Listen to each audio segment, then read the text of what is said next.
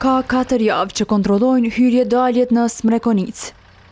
Por mund të jenë ditët e fundit kur këta policë qëndrojnë në këtë pjesë të fshatit të Vushtrisë.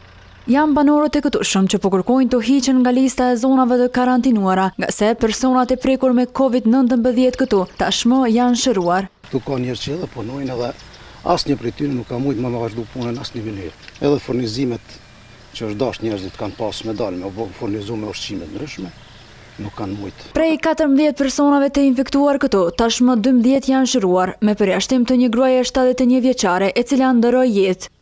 E rasti i vetëm pozitiv me koronavirus në këtë fshat, është një grua, shtëpia e së cilës ndodhet në një pjesë të ndarë të fshatit, e ku janë vendosur edhe një grup tjetër policësh. Është jashtë çdo logjike të shnoshë njeriut që për hir familjes që na kemi mbetë këtu që as gjeografikisht nuk kemi të bojmë nuk lidhem me pjesën e fshatit don të mbahet i bllokum i tanë një fshat. I të njëjtit mendim është edhe përfaqësuesi i Smrekonicës Fidan Bejta, sipas të cilit mjafton izolimi i shtëpisë së të infektuarës. Nuk e kena pa të arsyeshme që dyqind e tridhjetë familje tjera me qenë të bllokuara. Në komunën e Vushtrisë thonë që këtë kërkesë ia drejtuan Ministrisë në detyrë të Shëndetësisë qysh në fillim të javës. Lagja ku aktualisht e kemi një pacient aktiv me Covid është vërtet e izoluar dhe është më lehtë e kontrollueshme dhe po ashtu do të lironte shumë resurse të Policisë të Kosovës që aktualisht janë të angazhuara në atë zonë.